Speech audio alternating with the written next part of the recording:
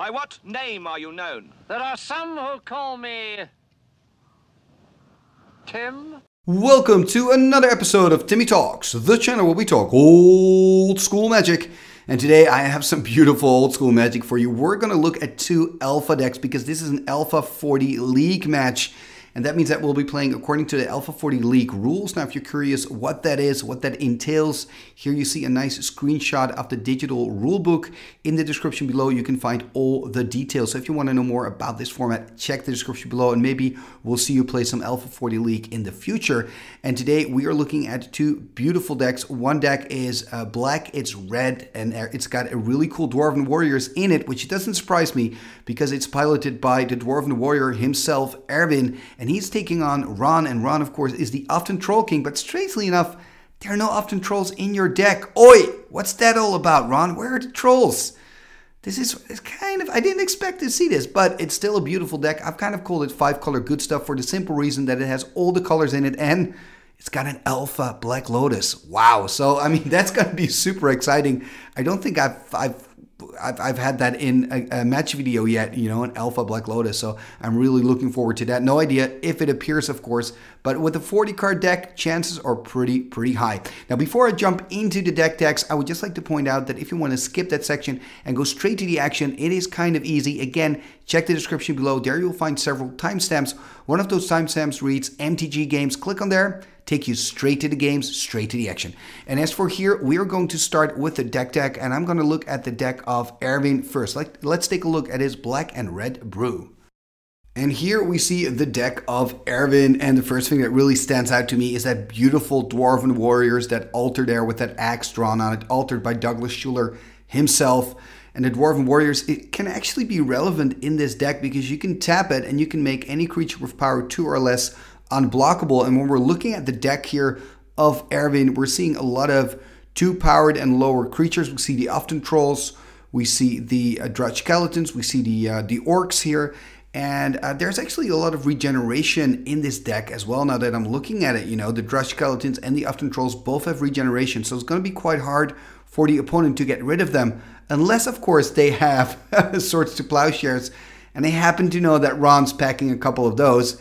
Uh, but besides that, I mean, regeneration is a tough cookie to crack. We do see some removal in the deck of um, Erwin as well. We see two beautiful fireballs. We see three lightning bolts. I'm really liking that fork.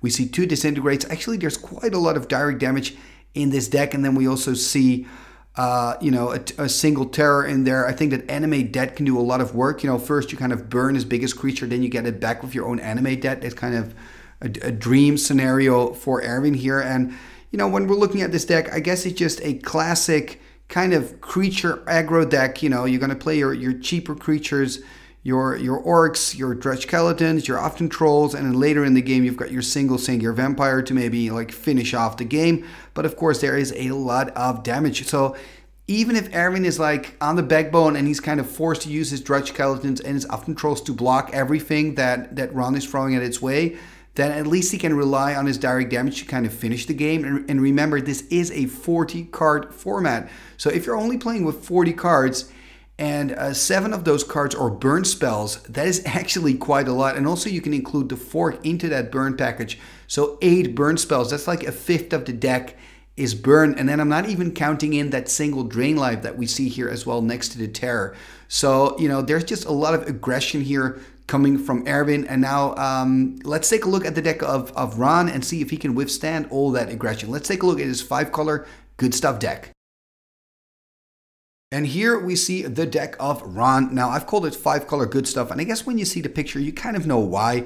Um, he's you know he's, he's playing with those cards that you're kind of expected from every color. And yes, I understand he's only playing with one green card and one black card, but in order to restricted cards, that a lot of people splash, and, and rightfully so, because they're just really good. So we've got Regrowth and Demonic Tutor there. I think if I'm looking at this deck as a whole, I don't see a lot of surprises. We see that red package where we see Fireball and three Lightning Bolts. We see the kind of standard white control package with three disenchants, two swords, and a balance, and that single beautiful Serra Angel, really beautiful. What I like, by the way, about this matchup is we're going to have Serra Angel versus Sengir Vampire. Remember the deck of Erwin? He's playing a single Sengir against a single Serra Angel. So I kind of I love that. I think that's really old school. And then we've got the blue cards, which is quite interesting. We've got a Steal Artifact, which I think is going to be really really good because um, you know uh, Erwin is not playing with any enchantment removal. You know, so he can steal whatever artifact. The problem, of course, is now that I'm saying this, Erwin is only playing with a single artifact. That's the Nevinyrral's Disc. So maybe that Steal Artifact is going to be a dead card in his hand.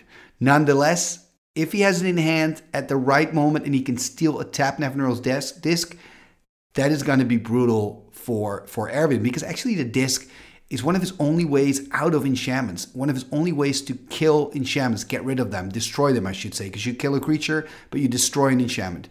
He's playing black and red. Remember, this is a format with no sideboards. He cannot board in a red elemental blast. He doesn't have that option, you know. So when he, he has to deal with the Steal Artifact or when he has to deal with even worse a control magic he's got no weapons. The only really good weapon he's got against it is an activation of the Nevinyrral's disc. I actually think talking about control magic i think it can have a big role in this uh, in this matchup two control magics. Um, the reason i'm saying this is like i said he's got no enchantment removal. What does that mean? It basically means that control magic is a two for one. He steals a creature. Let's say he steals uh, the Sengir Vampire. That would really be a horror scenario for Erwin, right? Then he has to use a direct damage or some kind of other card to get rid of his own Sengir Vampire. So basically, a control magic is setting Erwin up for a two for one. The only good thing that I can kind of guess is that um, although he's playing with all the colors, so even if he steals an Uthden Troll, he is playing with a considerable amount of red mana, so he can still regenerate the Uthden Troll. So anyway, control magic is probably going to be a pain here for for Erwin. I think Erwin's best bet is to play really really quickly. Uh, against Ron, I think looking at this deck, Ron is the slight favorite, and I haven't even talked about the artifacts in this deck. We see quite a lot of artifacts, seven in total, including a beautiful Black Lotus and I'm so hoping to see it in action today, Ron. Um, yeah, because that's going to be the first time in a match video on the channel that we'll see an actual Alpha Black Lotus being used and activated. So that would be really, really a big thing. So I'm really hoping to see that Alpha Black Lotus being used. Uh, we also see a Jade statue. Now, Jade statue, you don't see it often in other old school formats, but in the Alpha 40 League and in Alpha Beta play, it is such a good card. I've seen it in action. I was really like, I was impressed. You know, in, in core set only, this is the boss. This is such a good card. It is surprisingly difficult to get rid of. It's a 3 6 during combat, so 6 toughness. It's really difficult to beat that with any creature in, in, in Alpha. So, I mean, it is really strong. And I think if Ron would have had more copies, I'm not sure, maybe he does, but when I'm looking at this deck, it would make more sense maybe to play with three Jade statues and not with the Juggernauts. That being said, Juggernaut is a pretty good card in Alpha 40 League. It's got a place in Alpha 40 League. You don't, for example, have a Divine Offering in Alpha 40. Uh, you don't have, more importantly, a Mishra's Factory for the Juggernaut. And walls actually see a little bit of play in Alpha 40 League. I was playing in this same tournament and uh, I was playing with the Wall of Air Alpha. So, you know, it does see some play. We also see a Jayemdae Tome, of course. When he's got control, he's going to use that tome to get card advantage, kind of like the deck wants to do that. And uh, we see two Icy Manipulators, which again, very strong cards. They're kind of huge, you know? So, yeah, it's a really good deck. I'm saying Ron is the favorite, but if Erwin can play really, really quickly, kind of burn Ron out, he definitely has chances. So this is the deck of Ron. We've looked at the deck of Erwin. Now let's go to the Alpha Clash. Let's go to the match. Game number one is here about to start. On the right, we have Ron with his five color good stuff deck. And on the left, we've got Erwin who's playing his red and black Dwarven Warriors deck. And the cool thing is, um, you know, the playmat of Erwin, it's completely unique. You do see Channel on there, but also you see this soldier with this kind of, you know, this. You're like, that's not a magic card. It isn't because it's actually um, it's actually Erwin himself, kind of dressed up as a dwarven warrior. So that is his face. So it's like a super unique uh, playmat. It's really rare and, and really nice to see. One of a kind, actually. And on the right, we see the playmat of Ron. That also has a story because he's the organizer of the Uthden Troll Cup, the really big and, and fun tournament held in Leeuwarden every year. And, um, you know, he's got this Icy Manipulator playmat. And as you can see, the Uthden Troll is drawn inside it. by Douglas Shuler himself. So uh, both of these playmats pretty unique. And uh, it looks like they've started not played out too much. We see two dual lands being played by Ron here, an Underground Sea, and I believe that is a Scrubland, and just a basic swamp by Erwin. I'm kind of expecting Ron just to pass turn here, and then perhaps we're going to see an orc or a skeleton on the side of Erwin in his second turn. We'll just have to wait and see. Remember, with Alpha League 40, it is really hard to take a mulligan because you can only take a mulligan if you have only lands or no lands. So maybe these players are forced to keep hands that are not ideal. Although, you know, especially the deck of uh, of Ron is simply a slower deck. Here we see the Orcs a 2-2 body that is really good at attacking and not so good at blocking. So I'm expecting an attack if it's possible. Here we see another dual from Ron Taiga and that is truly a beautiful sight. He's not playing out any creature, so I'm expecting to see an attack here by the orcs from Erwin. He's going through his cards, attacking here for two, so Ron's going to drop to 18 as expected. And what else can he do here?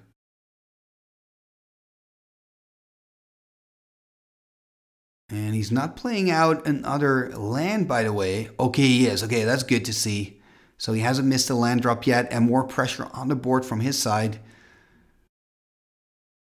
So he's got four land now for Ron. So possibly you could play out a Juggernaut.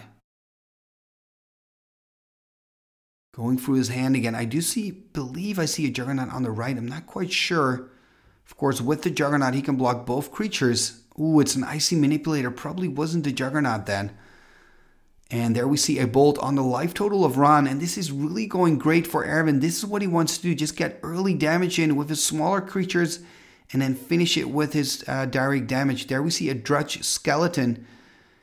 And I think Ron really needs, for example, a Control Magic here. A land drop and a Control Magic that would take a creature from Erwin and give him a blocker. And at the same time, he will have one land open to use his Icy Manipulator to tap down one of the creatures and that is the scenario that happens. He is taking the tapped orc, changing his mind, and oh, yeah, yeah, yeah, that is a better situation. Then he has the underground sea untapped to regenerate. But wait a minute. No, you cannot do that, Ron, because you don't have double blue. So I guess it's kind of a misplay. Looks like Erwin is not seeing it. There we see a paralyze being played on the Drudge Skeleton. So this is actually not possible, right? Because he needs a double blue to cast it, but it doesn't have a big effect on the game. There we see an attack. He's stepping down one of the orcs, taking two damage, going down to nine. And there's a bolt. He's going to go to six. Still looking really good for Erwin because, I mean, Ron is already in the single digits. And remember, he's got a lot of burn in his deck. Only one card, it seems. And Ron is kind of slowly stabilizing. Now remember, if Ron blocks on the drudge, regenerates the drudge, the drudge gets tapped. So that's why the paralyze works really, really good on the drudge uh, skeleton. There's the attack again. He's going to tap down one of the orcs, going to block. And he has to tap, uh, regenerate. So the Ironclaw orc taps. And there we see a fireball. And that's, no, it's not game yet. He's on two. Okay. I wanted to say that's game, but it's not game yet. Could have chosen to kill the Drudge Skeleton actually, but decided not to. And look at that. We see oh, a Firebolt taking out both of the orcs. So that is going to give Ron a little bit of breathing space. And I guess, you know, when you're Erwin, you're just going to wait until you draw into your burn spell. And if you're Ron, you want to make sure you've got at least one counter spell open to kind of stop the burn. Drawing a card for turn. Can Ron still win this? Can he turn it around? It seems unlikely, but he is still alive. Two is not dead yet. Erwin's still sitting safely on 20 lives. There we see a Jayemdae Tome. So the control game has started. Passing turn, not using his Icy, by the way. I think I would have tapped down a land if I were Ron. I mean, you, you never know. Maybe it helps. You never know. Anyway, he's going to draw an extra card with the Jayemdae Tome. This is really the game that Ron wants to play. He's going to find extra cards in hand. Remember, he is playing with counter spells, and this is going to make it more difficult for, for Erwin to kind of decide if he draws into a burn spell, when to play the burn spell. It looks like he's got something here. Maybe it's just a Drudge Skeleton. Maybe it's a deciding burn spell. We'll have to see. There's a Drain Life for two.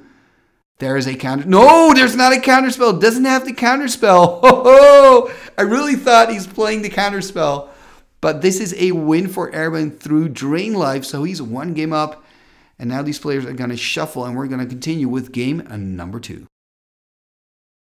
Game number two, and here we go. Ron under pressure has to win this one if he wants to keep a chance of winning the match. Remember, Alpha 40 League means you can draw on your uh, your first turn when you're on the play. That's what I'm trying to say. So there we see an underground sea. Oh, we see the Alpha Black Lotus into a Juggernaut. Oh, beautiful. This is Magic the Gathering for you, and this is a huge problem for Erwin. Needs to see a Lightning Bolt now to take care of that Juggernaut already kind of reaching towards his dice there. There's the attack. Oh man, this is so painful. Copy artifact! Oh my god! He can put Ron, I'm sorry, Ron can put Erwin on five and turn third turn. This is insane. There, can he do anything? At least a so he can at least block one, you know, has to chump probably. Well, has to. He can let it go for one turn, I guess. Well, he's gonna chump. Okay, makes sense. Gonna drop to 10. He needs at least a lightning bolt, needs a shatter, needs something. What can he do? There is another mountain. Come on. Double bolt? Highly unlikely. No, no, no. Well, bolt is an instant. I guess he can still do it. No, no. Okay, wow. What an insane game of Magic the Gathering. This is sick. Oh my god. I can't believe it.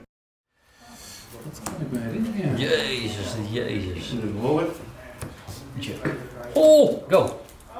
Fale viespeuk. Ja, mag ik een keer? Eindelijk. Ja, maar dat hielp niet bij jou. Ja, toch een mooie start. Bolt erop. Zo. Ehm ja. 1-1. eh. Ja, maar eerst laten aanvallen, hè. Hè? Eerst laten aanvallen. En dan pak je eerst die vijf weg en dan... Oh nee, toch niet. Oh ja, en bier halen, kut.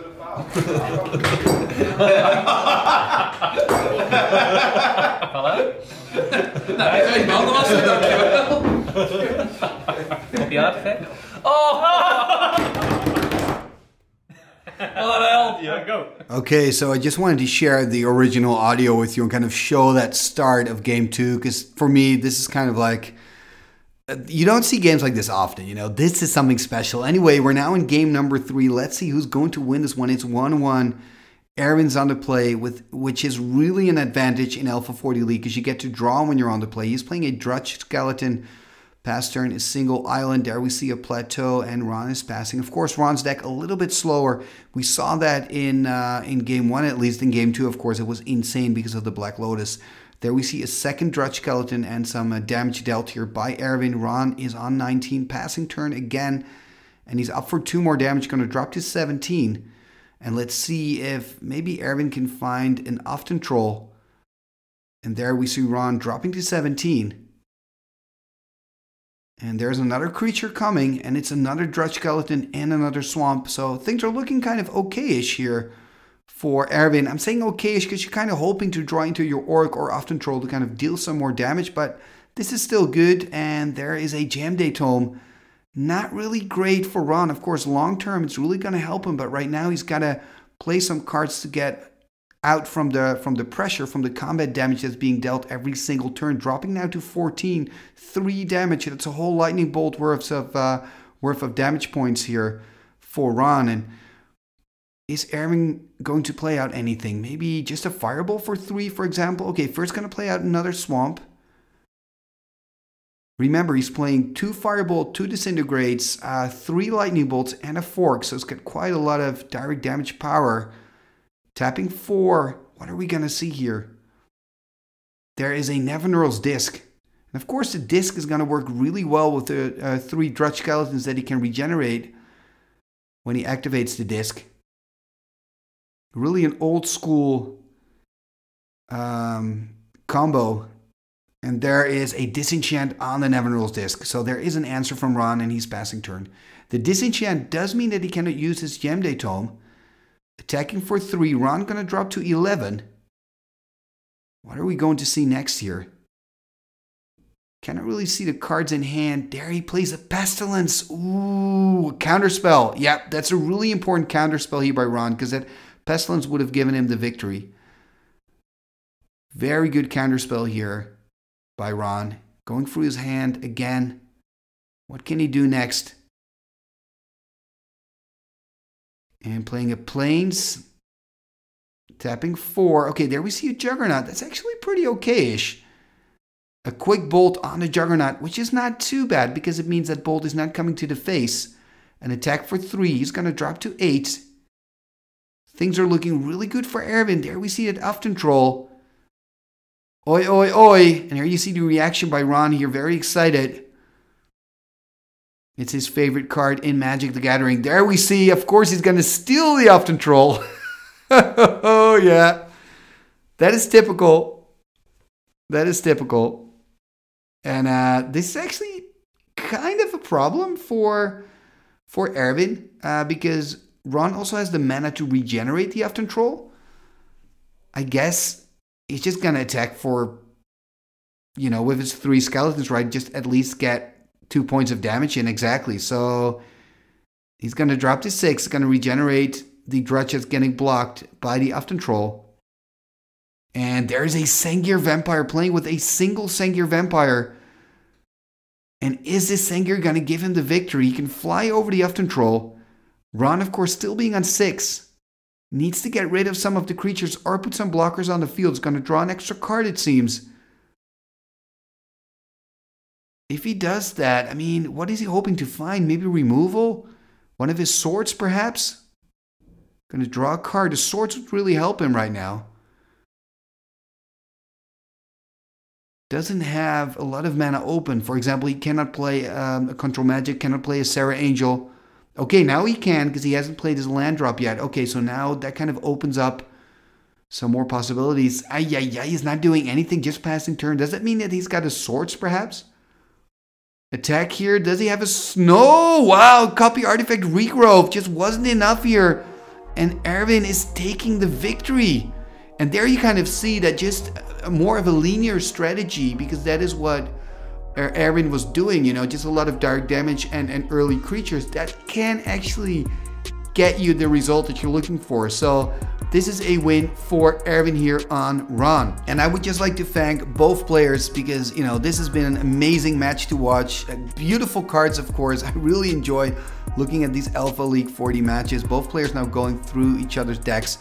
And I mean, that game number two, that was just, man, that is crazy. Let me know in the comments below, man. Have you ever seen a game like that? I don't think so. I mean, Ron, man, thank you very, very much for for sharing that and and bringing that to the table. It's just uh, it's insane. And this was today's episode. Wow, it was a good one. What a beautiful Dex, man. Anyway, thank you very much for watching another episode right here on Timmy Talks, the channel where we talk old school magic. And if you're new to the channel, welcome. Please consider subscribing and ring that bell. And if you're if you've been here before, please like this video. That really helps the channel move forward. Also, leave a comment. Let me know what you think of these plays and what kind of games you would like to see in the future. Talking about the future, um, you can also support the channel financially, and you can do that by becoming a patron via Patreon. There's probably a link popping up right now. The cool thing is you can already uh, support Timmy Talks for $1 a month. All the money through Patreon goes to the channel and you're really helping me keeping this channel alive. And the cool thing is besides just, you know, helping me create more content for you, you can also join our Discord. Um, you can play a game against me if you want to. Uh, and you can also join the special Timmy Talks tournaments because I also organize tournaments to thank my channel members and patrons for their support. So there's quite a lot of stuff happening and a lot of reasons why maybe you would like to join the Timmy Talks Patreon. So if that kind of sounds like something that you would be interested in, please click on that info card and visit the Timmy Talks Patreon page. Talking about all of that, your name will be also mentioned in the end scroll. And um, you know what? Let's go to the end scroll and let's take a look at the fantastic, amazing, wunderbar channel members and patrons of Timmy Talks. doctors think it is